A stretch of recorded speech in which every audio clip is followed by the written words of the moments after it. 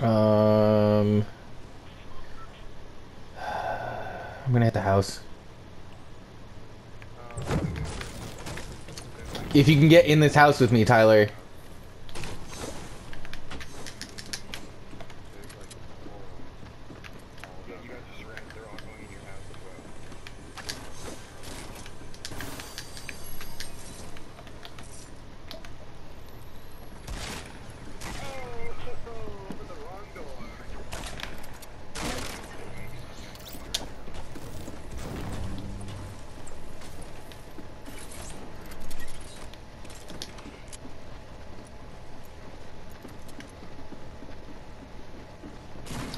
Heard somebody lay a fucking trap.